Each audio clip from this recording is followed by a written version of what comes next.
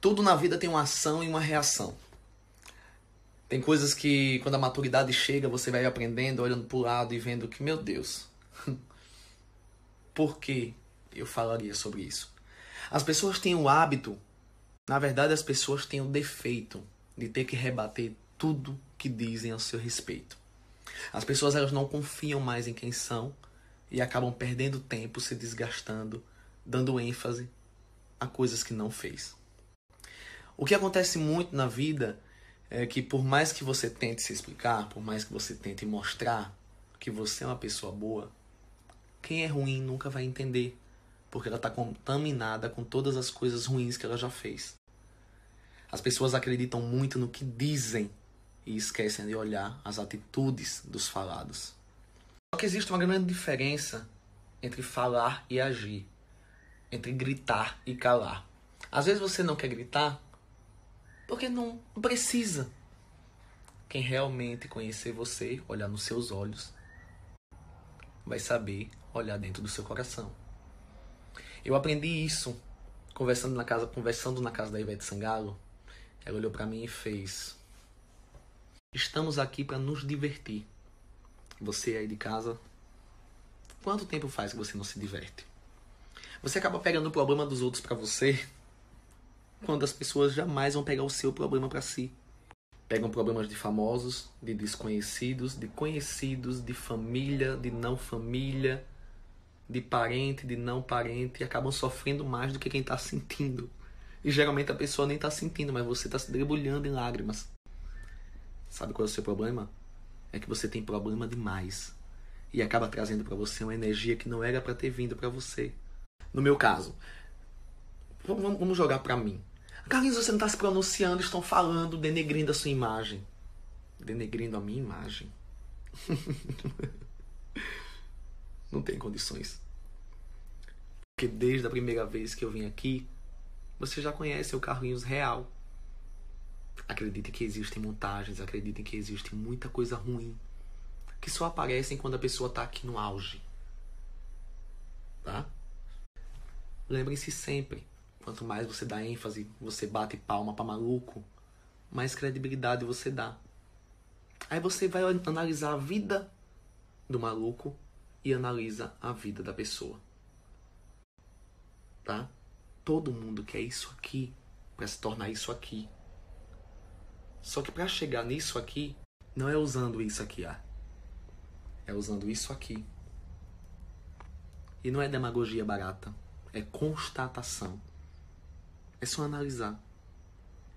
Às vezes, falamos tanto, falamos tanto, e esquecemos de olhar para o passado, de pesquisar a vida do outro. Muita gente acaba se envolvendo nos problemas das pessoas, até da família mesmo, e diz: Mas vem cá, deixa eu olhar direitinho aqui como é a história. No meu caso, eu vou casar. Tenho 10 anos de história. Nesses 10 anos, vocês acham que foi só amor? Não. Não sei se vocês, quem me acompanha desde o início e viu minhas entrevistas, em várias das entrevistas, o Lucas tem um momento que ele diz: Teve um momento que o Carlinhos se deslumbrou, e eu já disse várias vezes para vocês aqui. Ficamos um ano separados. um ano separados. Todos os nossos amigos sabem.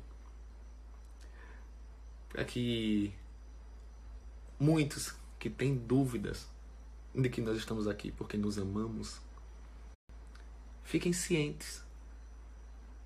Não pegue problema de ninguém para vocês.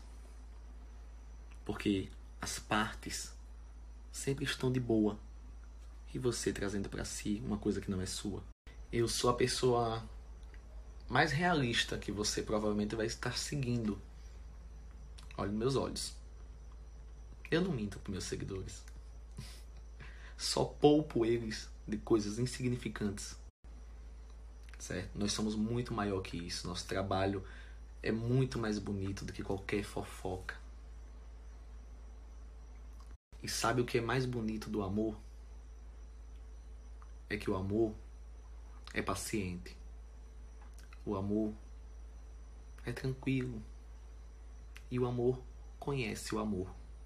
Para quem nunca amou, vai ser difícil entender o que é. Então, qualquer coisinha que se escuta, acha que é tudo que está em volta. Meu Deus. As pessoas precisam mais a ser humanas. Elas acham que são perfeitas. oh. Vem cá. Vem cá. Vem cá.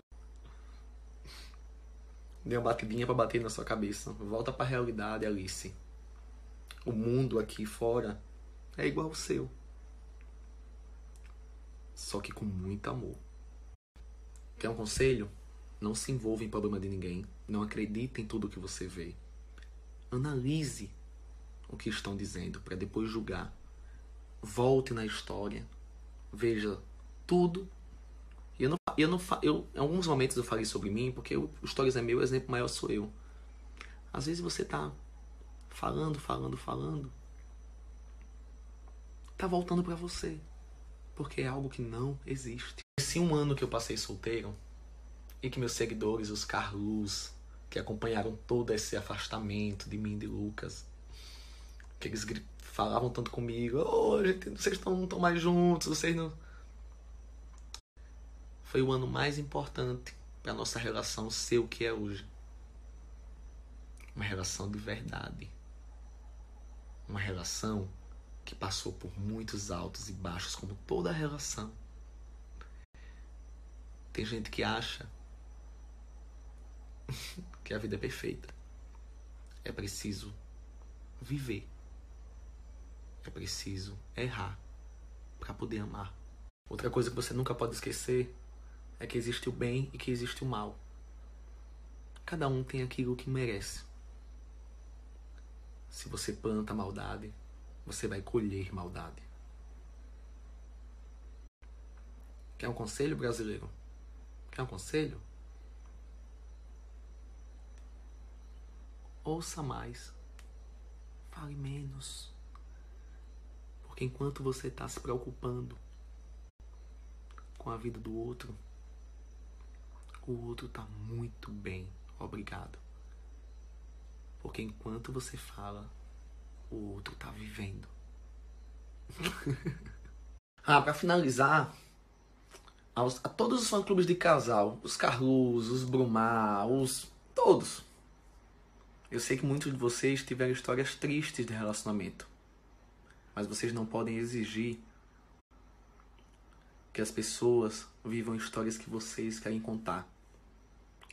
As pessoas têm que ser mais leves e entender que cada um tem a sua história. Essa é a minha. Seguidor nenhum,